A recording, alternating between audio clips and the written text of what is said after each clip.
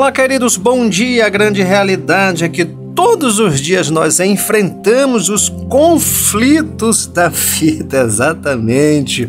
Conflitos fazem parte da nossa vida diária. Não é fácil, não, né? As tempestades, as lutas, as adversidades sempre todos os dias estão fazendo parte da nossa vida. Eu vou te falar uma coisa: você precisa aprender como lidar com os conflitos da vida, com muita graça, força, sabedoria, presença de Deus na sua vida.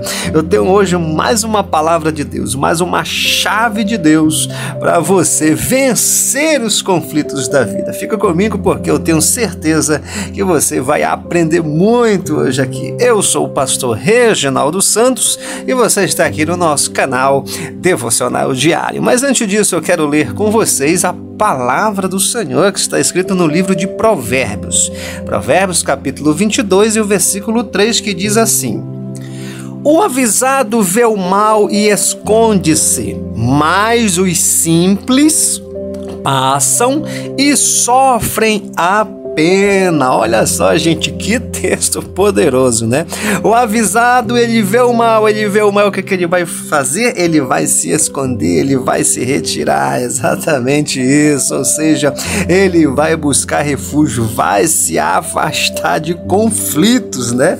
Exatamente isso. É isso que nós precisamos fazer, evitar os conflitos. Se você pode evitar, então evite os conflitos, certo? Não entre em conflitos de desnecessário na sua vida. Apesar que eles chegam todos os dias, e essa que é a grande questão.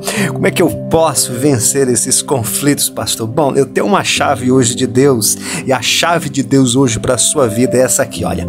Resiliência. Resiliência. Você tem que buscar, sabe, gente, viver todos os dias, todos os dias, certo? Essa resiliência. O que é resiliência, pastor? A capacidade de enfrentar, olha só, gente, um problema ou uma dificuldade, aprender com ele sem se permitir que o efeito negativo desse problema vem assumir o comando da sua vida. Olha só, né? É exatamente isso, sabe? Você enfrentar os problemas da vida, você enfrentar as tempestades da vida. Mas o que, que você vai fazer com isso? Aprender com esses problemas e não ir para o fundo do poço e não viver uma vida desanimada e não viver uma vida, sabe, debaixo de opressão, de tristeza, de angústia, de pessimismo. Não. Isso que é resiliência, é o contrário, é passar por tudo isso, mas manter um aspecto positivo porque você aprendeu. Não é porque você está se fingindo, não, é porque você de fato aprendeu com o problema, certo? O aspecto negativo você não se permite que venha assumir o comando da sua vida, mas sim que você vai seguir em frente, você vai levantar a cabeça, você vai dar a volta por cima, você vai virar a página da sua vida. E é exatamente isso que eu quero deixar hoje aqui para você. Três chaves de sabedoria de Deus para você desenvolver a resiliência na sua vida, para você realmente vencer os conflitos da vida. Porque tem muita gente, olha, eu vou te falar uma coisa, não é pouco não. É muita gente que diante dos problemas da vida, dos conflitos da vida, a pessoa entra num cativeiro emocional e espiritual terrível. E nós precisamos desenvolver a nossa resiliência. Então vamos lá, pastor, como é que eu posso desenvolver isso? Como é que eu posso realmente, sabe, alcançar essa capacidade? Bom, em primeiro lugar é o seguinte: seja otimista. Exatamente isso. Seja otimista, você tem que ter um olhar diferente em relação aos problemas que você está enfrentando. Em relação aos conflitos que você está enfrentando. A própria Bíblia diz que Jesus disse assim: olha o que Jesus disse. Jesus disse assim: se os teus olhos forem bons, o teu corpo terá luz. Se os teus olhos forem maus, os teu corpo estará em trevas. Olha só, gente, o que, que ele está falando? O que, que ele está ensinando? A forma como você vê a vida. Se você vê os conflitos da vida, certo, como um problema que realmente, certo, não tem jeito, não tem solução, não tem resposta, certo, que você sempre fica olhando para o lado negativo, para o lado pessimista da situação, realmente vai ser muito difícil você vencer os conflitos da vida. Agora, se você olha para os conflitos da vida com um olhar otimista, sabe? Em olhar assim, dizer: eu vou conseguir, eu vou vencer, eu vou superar. Assim como fez Davi quando olhou Golias, ele disse: quem é esse circunciso para afrontar o exército do Deus vivo? Quem é ele? Quem ele pensa que ele é? Gente, olha, otimista. Exatamente, Josué e Caleb, né? Quando trouxeram o relatório a Moisés, as, aqueles, aqueles dez disseram, né? De forma negativa: não podemos tomar posse da terra, não podemos entrar e tal. E os dois disseram: nós podemos sim, o Senhor já nos deu a terra. E os outros diziam: não, nós somos como gafanhoto aos seus olhos. Olha só, gente. E eles diziam, Josué e Caleb diziam: não, eles são como pão diante da gente. Veja, gente, olha só a diferença, certo? A capacidade capacidade de enxergar de forma diferente, certo? Aqueles 12, né? Dois de forma otimista e 10 de forma pessimista. Vira a mesma cena, vira a mesma terra, vira o mesmo gigante. Então veja, gente, que a forma como você lida com os conflitos da vida depende muito como você enxerga a vida. Em segundo lugar, segunda chave que eu quero deixar aqui para você desenvolver a sua resiliência, essa capacidade de aprender com os problemas durante os conflitos da vida. Faça o seguinte, olha, use a adversidade como fonte de energia. Exatamente isso. Como assim, pastor? Isso. Você precisa utilizar, sabe, essa adversidade adversidade que você está passando como fonte de energia, certo? Para você buscar exatamente isso, uma saída, buscar uma solução, se capacitar, sabe, gente? Você deve encarar isso como um desafio a ser vencido. A forma como você vê, como eu acabei de falar na primeira chave, vai fazer a diferença. Se você passa por adversidade e você se permite que essa adversidade, que esse conflito que você está passando, venha, vem utilizar, exatamente, venha extrair toda a tua energia, venha sugar toda a tua energia, venha descarregar a tua bateria. Então, como é que você vai vencer? Como é que você vai conseguir superar esse conflito que você está passando? Então, você tem que fazer o contrário. Em vez de extrair a tua energia, você vai usar essa, essa adversidade como uma fonte de energia para você se superar. Eu gosto muito da passagem, já citei aqui várias vezes a passagem de Zaqueu, exatamente, que ele tinha uma adversidade, ele tinha um problema. Ele queria ver Jesus, mas era de pequena estatura.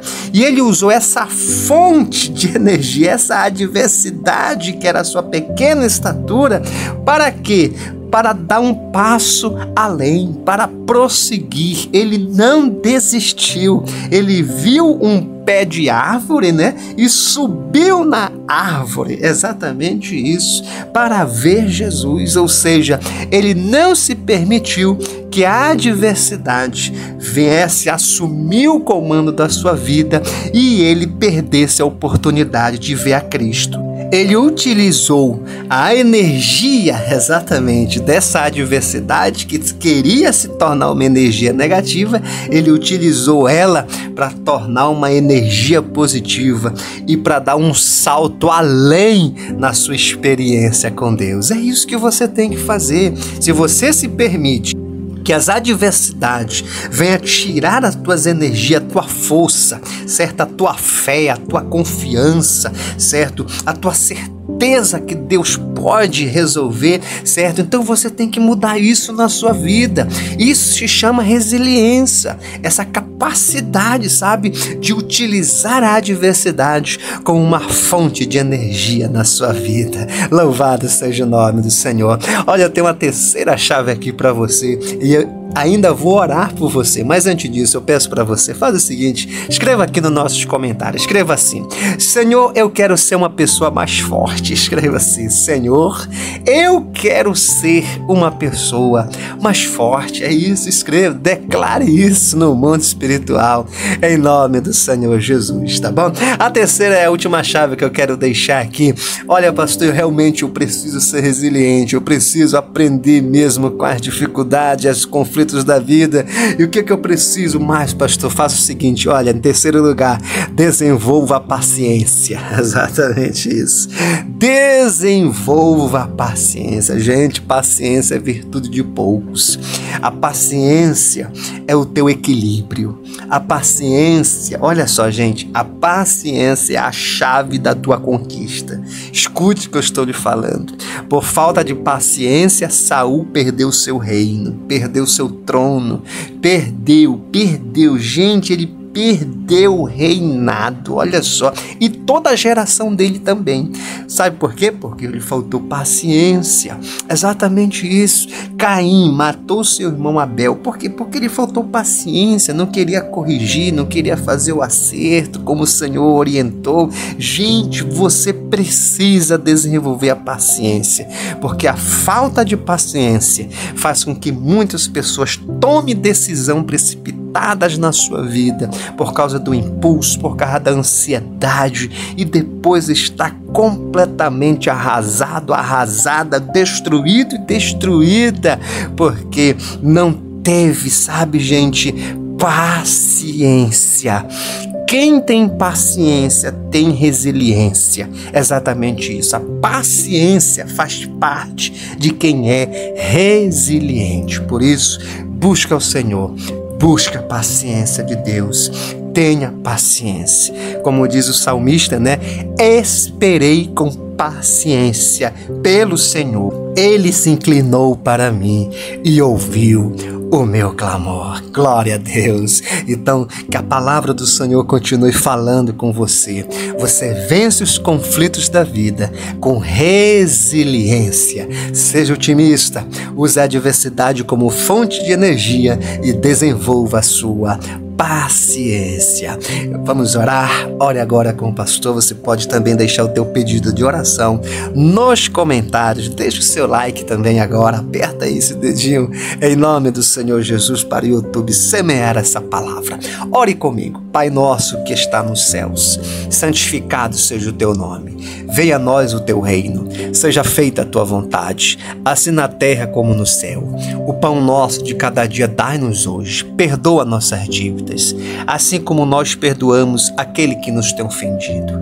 Não nos deixes, Senhor, cair em tentação, mas livra-nos do mal, porque teu é o reino, teu é o poder, tua é a glória, hoje e para sempre. Senhor meu Deus e Pai, em nome do Senhor Jesus, eu te apresento cada vida, cada pessoa que está aqui comigo em oração, Senhor.